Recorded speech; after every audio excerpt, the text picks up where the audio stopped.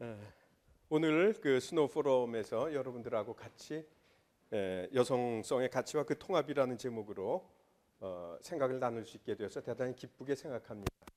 어, 그 조무석 교수님의 예, 강연이 아주 참 재밌었습니다. 그리고 어, 제가 에, 말하려고 하는 그런 내용하고 에, 그전 단계에서 어, 상당히 예, 도움이 될 예, 그럴 것 같습니다. 그런데 그 재밌는 것은 어, 여성인 그 조 교수님은 에, 어떤 양성성의 통합 그거에 조금 밝은 측면을 에, 말씀했어요. 어, 근데 저는 에, 남성인데 좀 어두운 측면, 다시 말해서 이제 에, 그 병에 관한 에, 그런 얘기를 하게 돼서 들으면서 상당히 참 에, 이것도 뭔가 어떤 양성성의 어떤 그 통합을 그 상징하는 게 아닌가 하는 에, 그런 생각을 했습니다. 아, 저는 오늘 에, 스위스 분석 심리학자 칼 융학파 아 그리고 저는 이제 에, 조금 요걸 읽고 그다음에 에, 그 이 프린트 요 화면을 보고 그런 방식으로 어, 진행하겠습니다. 아, 칼 융학파 정신분석가의 한 사람으로서 제가 만났던 에, 피분석자의 에, 꿈에 나타난 이미지들을 중심으로 해서 여성성이 가진 가치와 그 통합에 관해서 어, 살펴보려고 합니다. 제2차 세계 대전 이후 서구 사회와 우리나라에서는 여성과 여성성에 대한 인식에 엄청난 발달이 이루어졌습니다. 옛날 이야기나 민담에 나오는 여성의 이미지가 과거에는 고생하는 어머니, 계모, 콩쥐 팥쥐 등 가련하고 소극적인 이미지를 그려졌지만 현대 여성하면 미니스커트나 칼 힐이라고 하는 이미지가 떠오르고 요즘 TV 드라마에서는 출판사 편집자나 여성 법조인 등 좀 더 적극적이고 어, 세련된 이미지로 그려지고 있습니다. 그것은 현재 우리 사회에서 여성들이 옛날처럼 모든 것을 희생하고 인내하는 대신에 자신의 삶과 존재에 적극적으로 어, 참여하게 된 것을 반영하는 모습일 것입니다. 그러나 저는 그런 발달이 가져온 바람직한 결과를 모두 어, 기쁘게 받아들이면서도 다른 한편으로는 여성들이 그렇게 어둠을 뚫고 나온 것에 과연 긍정적인 측면만 있을까 하는 생각을 하기도 합니다. 현대 사회에서 여성들이 그렇게 적극적으로 사회성 활동을 한 결과 여성들이 그 전보다 더 행복해졌는가 하는 의문을 가지는 것입니다. 그 이유는 저에게 분석을 요청하려고 오는 일부 여성들의 삶에서 그렇게 박지만은 않은 구석을 발견했기 때문입니다. 그런 여성들 많은 경우 꿈에서 어떤 사람에게 막 쫓기거나 엘리베이터를 타고 올라갔다 내려갔다 하거나 그렇지 않으면 더 심한 경우 핸들도 없는 택시를 타고 가다가 그 핸들이 없는 것을 갑자기 발견하고 경악을 하면서 잠에서 깨어나기도 합니다. 여러분들도 꿈 많이 꾸나요? 우리 꿈은 전부 다 어떤 그 상징들로 이루어져 있어서 이런 그 상징들은 굉장히 많은 것을 말하고 있습니다. 결론부터 말씀드리자면 많은 여성들은 갑자기 달라진 상황에서 여성성이 지닌 진정한 가치를 깨닫고 그것을 통합하려고 하기보다는 그동안 가치 있게 생각했던 남성성을 모방하려고 하면서 더욱더 남성적으로 살려고 하는데 그런 태도는 여성들에게 더 큰 어려움을 가져다 주는 것입니다. 그런 여성들 가운데서 이런 꿈을 꾼 사람이 있습니다. 어디에 맞추나요? 오케이, 예. 이 꿈은 나는 어떤 30대 여성의 꿈인데 나는 사, 다른 사람들과 같이 어디인가 있는데 군복을 입고 있었다. 우리들은 적군의 진지에 들어가야 한다. 우리는 앞에 있는 사람을 밀치고 들어왔다. 다음 통로에서 동료가 지하 계단으로 내려와서 숨었고 뒤에서 누가 쫓아오는 것 같아서 나와 다른 동료는 옆에 있는 방으로 얼른 숨었다. 그런데 뒤에서 온 사람은 우리에게 무슨 일을 하라고 하였다. 그 일은 수건에 수를 놓는 것이었다. 나는 웃긴다고 생각했다. 자 이런 꿈은 에, 그 우리가 꿀 수 있는 그런 그런 겁니다. 그런데 여기서는 상당히 많은 것을 이야기하고 있습니다.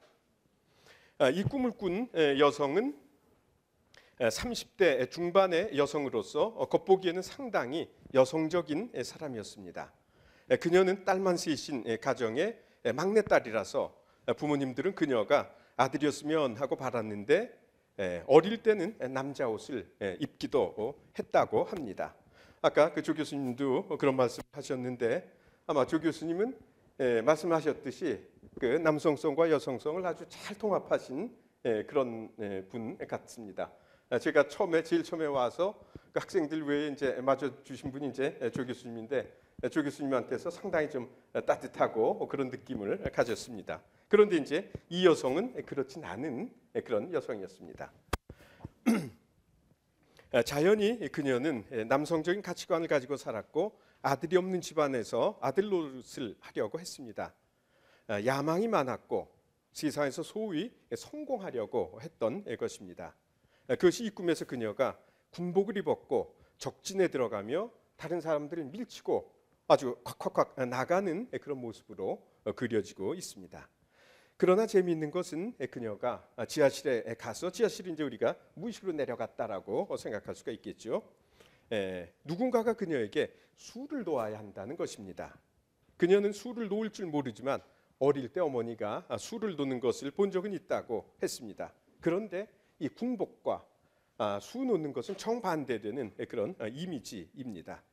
그녀는 군복을 입고 군인처럼 이 세상을 사는데 무의식의 깊은 곳에서는 수를 놓으라는 것입니다. 그러나 그녀는 웃긴다고 생각했습니다. 왜냐하면 나랑은 맞지 않는 그런 것이다라고 하는 것입니다. 그러나 여기에서 에, 주의할 것은 수를 놓는다는 것은 하나의 상징입니다. 반드시 수를 꼭 놔야 한다라고 하는 그것이 아니라 좀 더 이제 여성적인 태도를 가지고 살아라라고 하는 에, 그런 상징인 것입니다. 칼 융은 인간의 삶에는 두 가지 커다란 의미가 있다고 주장을 했습니다. 어, 그 저도 헤매네요. 컴퓨터장에서 오케이. 칼 융은 어, 우리 인간의 삶에는 두 가지 커다란 원리가 있다고 어, 주장했습니다. 하나는 우리 삶에서 우리 삶엔 두 가지 커다란 원리가 있는데 하나는 에로스의 원리고 다른 하나는 로고스의 원리입니다. 에로스의 원리는 관계를 관계 맺기 또 감정적인 삶을 살기 더 많이 느끼고 즐기기로 어, 표상되는 것이 이제 에로스의 원리입니다. 근데 이거의 이제 특징은 품어주기입니다. 그래서 이 품어주기는 종래, 종래 에로스의 원리는 이제 여성적인 삶의 원리다라고 생각을 했습니다. 그리고 로고스의 원리는 과제를 처리하기, 과제 풀기, 또 어떤 감정과 반대되는 그 논리적인 삶. 어, 또 이거 많이 느끼고 이제 즐기는 것보다 더 많이 알고 분별하고 하는 그런 것이 이제 로고스의 원리입니다. 그래서 이것은 이제 품어주기와 반대되는 그 지배하기로 어, 이 커다란 의미가 됩니다. 그래서 종래에는 과거에는 남성적인 원리로 이것이 동일시 되었습니다. 이 에로스 원리는 사랑의 원리고 어, 또 다른 말로 이제 에, 로고스의 원리는 권력의 원리로 되고 있습니다. 우리가 이제 아는 그것도 이제 지식도 권력 욕구의 소산인 그런 경우가 많이 있습니다. 그래서 이 남성적인 그런 원리 이제 지배하기 어떤 권력의 원리고 여성의 원리 이제 사랑의 원리 이 품어주기로 어, 대별되고 있습니다. 그걸 이제 요 어, 요건 여러분들이 보시고 그렇기 때문에 이런 두 가지 원리가 있습니다. 그래서 사랑의 원리를 가지고 사는 사람들은 관계를 중요시하고 다른 사람들을 품어주려고 하는데 반해서 권력의 원리를 가지고 사는 사람들은 성취를 중요시하고 어, 다른 사람들을 지배하려고 하는 것입니다. 아까 조 교수님이 말씀하실 때 그 여성들 보여주면서 뭐냐라고 했을 때 정말 이제 어떤 분이 남성분이 이제 성공하기라고 했는데 그렇습니다. 성공하기, 성취하기는 이제 어떤 태스크를 처리하는 그런 것입니다. 여성들 여성들은 그 시간에 이제 관계를 맺고 하는 그런 데 반해서 어 근데 결국은 이제 그 두 가지가 그럼 어떻게 성공하느냐 한 그거 거기에서 이제 통합이 이루어질 그럴 것입니다. 그런데 현대 사회에 들어와서 많은 여성들은 여성들에게 더 발달해 있는 사랑의 원리보다는 권력의 원리를 따르려고 하는 듯합니다.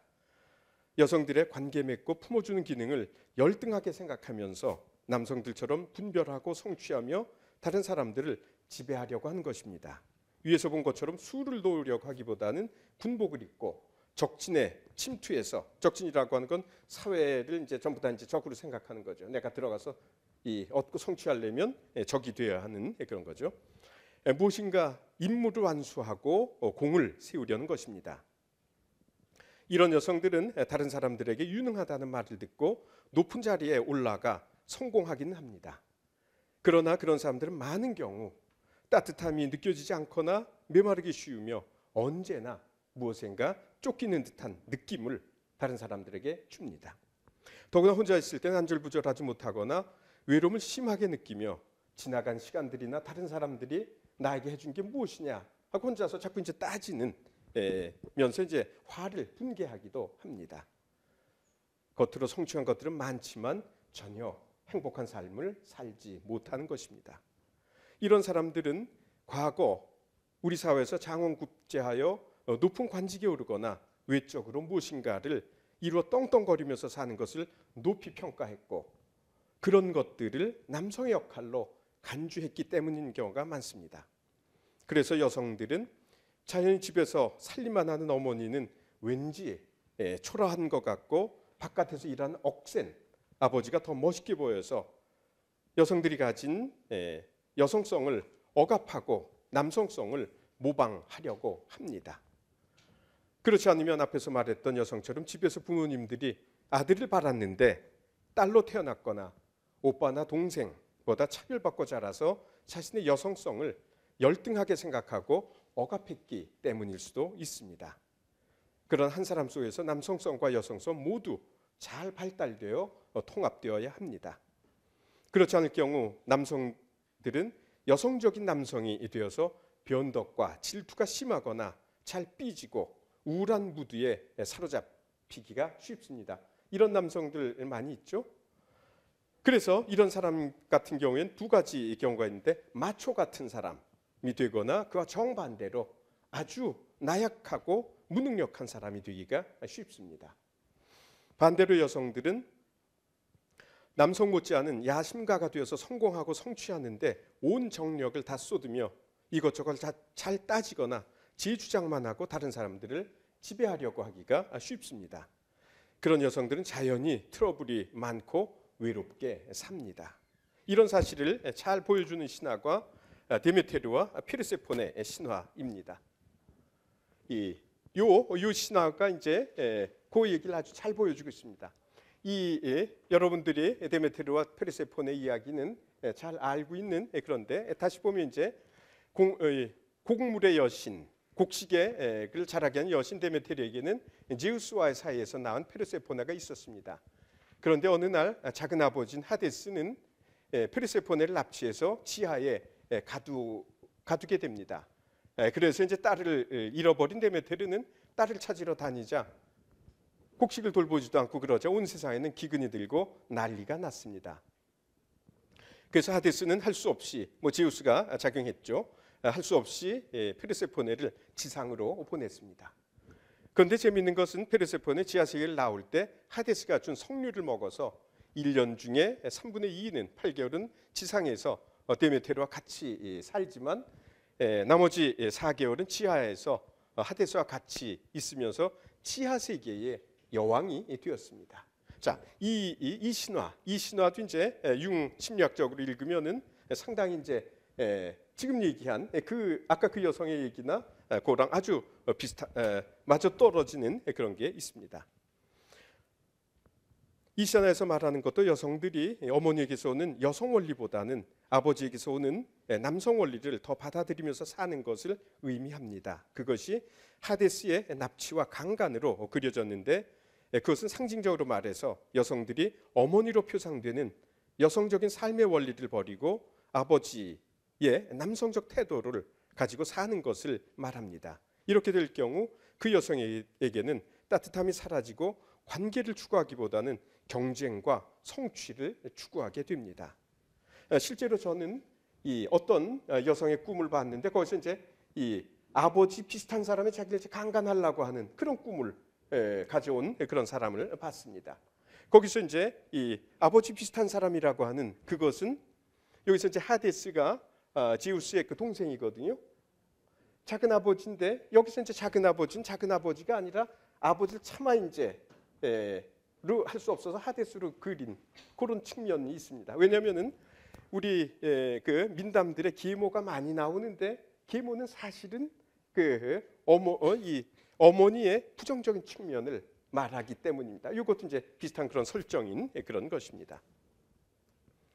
그러나 페르세포네가 구원을 받은 것은 그녀가 어머니인 데메테르를 만났을 때입니다.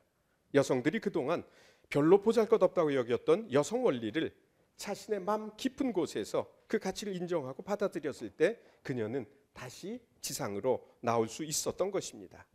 그런데 여기서 이제 맨 마지막 대목, 요건 이제 페르세포네가 그 하데스가 준 성류를 먹어요. 그 전에는 이제 납치돼서 무식, 납치돼서 이제 지하로 갔다라고 하는 거는 에, 이, 가, 이 무식, 예? 무의식적으로 어, 남성적인 태도를 살면서 이제 지하에서 살았다. 그때 이제 지하는 어, 죽음과 우울과 이 비탄의 그런 세계를 의미하는 그런 거죠. 그렇지만 이제 에, 나중에 데메 테, 페르세포네는 에, 나올 때 그때 이제 성류를 자기 의지로 먹 자발적으로 먹거든요. 그건 이제 에, 이 하데스를 자기가 선택했다라고 하는 의식적으로 선택했다라고 하는 그런 것입니다. 그렇게 될 때 이제 아, 데메테르는 그야말로 이제 지상에서 이제 식물들이 자라는 그게 이제 8개월이고 나머지 이제 지하에서 이 싹을 틔우고 하는 그것이 이제 4개월인데 지하 세계 여왕이 되었다고 하는 그런 것입니다. 자, 아, 이때 지하 세계는 이렇게 될 때 여성들이 의지를 의식을 가지고 남성성을 선택할 때 진정한 여성으로 된다는 사실을 말합니다.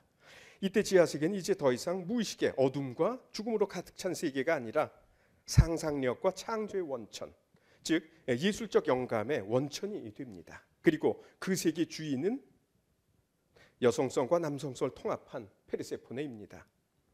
우리 사회에서도 많은 여성들은 그동안 여성적인 태도라고 여겼던 가치들을 열등하다고 생각하면서 남성들처럼 로고스의 원리와 권력 의지를 가지고 삽니다. 그러면서 부부의 관계나 어머니와 자녀의 관계를 희생시킵니다.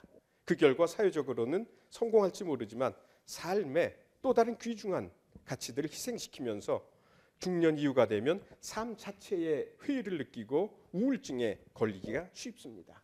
물론 그 전에도 이런 태도를 가지고 사는 여성들은 많은 정신적인 문제들을 겪는데 예, 어떤 섭식 장애나 이 폭식증, 거식증, 그것도 이제 상당히 많은 그런 게 있습니다. 또는 이제 건강 염려증, 불면증 등으로 고통을 당하기도 합니다. 그런 여성들의 꿈에는 냉장고에 얼음이 가득 들어 있다거나 길이 온통 얼어붙어 있어서 가지 못하게 됐다거나 그렇지 않으면 전 거대한 얼음의 왕이 쫓아오는 그런 꿈을 꾼 그런 여성도 보았습니다. 그녀들의 감정적인 삶이 온통 울어 얼어붙었다는 것입니다. 그래서 여성들이나 남성들은 모두 자신에게 있는 또 다른 성적 특성을 통합해야 하며 여성들에게는 그러한 작업이 더욱더 필요합니다. 왜냐하면 사회에서 남성적 원리에 대해서는 가치를 두지만 여성 원리는 그렇게 생각하지 않아서 여성들이 자꾸 남성적으로만 되기를 바라기 때문입니다. 그러나 조심해야 할 것은 융이 말하는 남성성과 여성성은 남성 여성을 그렇게 규정하려고 한 것이 아니라는 것입니다. 오히려 여태까지 사회에서 그렇게 동일시했기 때문에 그것을 차용했다는 것입니다. 더 정확히 말하자면 상징으로서의 남성성과 아, 여성성이라는 것입니다. 그래서 남성들 가운데 에로스 원리를 가지고 산 사람들도 많이 있고 여성들 가운데 로고스 원리를 가지고 산 사람들도 많이 있습니다. 융이 강조하려고 하는 것은 이 두 원리의 통합입니다. 에, 저는 이제 여기서 에로스 로고스의 원리보다 이제 남성 어, 여성의 원리를 에, 여태까지 우리가 말했기 때문에 그 에, 단어를 하용하겠습니다. 에로스의 원리, 즉 여성성에는 긍정적인 가치들이 많이 있습니다. 여성성이 가진 관계 맺기와 품어주기는 생명을 담고 품으며 기르는 특성이 있는 것입니다. 그래서 여성성은 비옥한 대지와 샘이 끊임없이 샘이 솟아오르는 그 샘물, 그 안에 무수한 동식물들을 살리는 숲으로 표상되는 경우가 많습니다. 그래서 모든 생명은 어머니인 자연 속에서 낳고 자라다가 다시 어머니인 자연의 품으로 돌아갑니다. 그뿐만 아니라 여성성이 가진 감정의 기능은 사람들로 하여금 더 많이 느끼고 즐기며 춤을 추게 하고 술을 마시게 하는 등 예술과 엑스타시와 어떤 transformation에 그 으로 어, 이끌어 갑니다. 여성성은 현대 사회가 추구하는 예술성, 융합, 융통성, 여유 등의 원천이 되는 것입니다. 여성에게서 여성성이 잘 발달할 때 그녀들의 내면은 평안하고 감정은 조화롭게 됩니다. 그때 여성들은 아버지로부터 물려받은 남성적 특성을 더 잘 발달시키게 됩니다.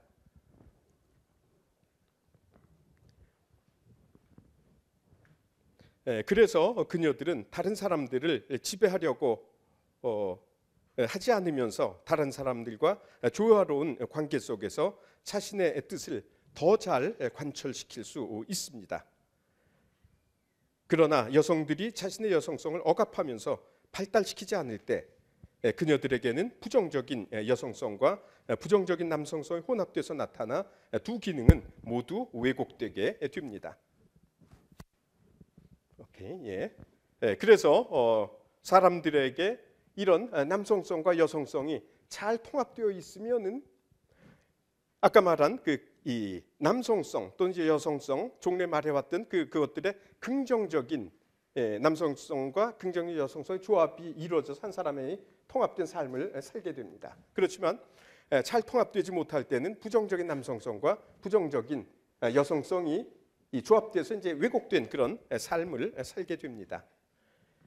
예, 그 결과 부정적인 감정들인 예, 앙심, 분노, 우울, 절망 등에 휩싸여서 다른 사람들과 좋은 관계를 맺지 못하고 부정적인 권력 의지인 냉혹함, 탐욕, 경직된 태도에 사로잡혀서 아주 고집스럽게 자기 주장만 관철하려고 하거나 그와 정반대로 자기 주장은 전혀 하지 못하고 위축된 예, 그런 삶을 살게 됩니다.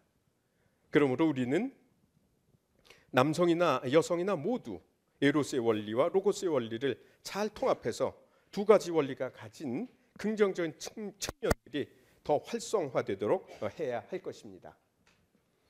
그렇게 될 때 우리는 우리 오늘 전체 주제가 여성성과 리더인데 예, 리더가 될 수 있을 뿐만 아니라 우리 삶이 먼저 조화롭고 행복하게 살 수 있을 것입니다. 이런 모습이 아까 아, 조 교수님이 안드로진을 얘기했는데 안드로진의 그 다음 단계가 그 심리학에선 융 심리학에선 헤르마 프로디테라고 그럽니다. 헤르마 프로디테는 헤르메스하고 아프로디테가 결합해서 나온 게 이제 헤르마 프로디테입니다. 이 헤르메스는 아주 남성적인 신이죠. 아프로디테 이제 여성적인. 그래서 헤르마 프로디테 이 양성을 통합한 그런 그런 이제 바람직한 그런 인물로 어, 얘기를 합니다. 여러분들 모두가 아무쪼록 헤르마 프로디테가 되기를 바랍니다. 감사합니다.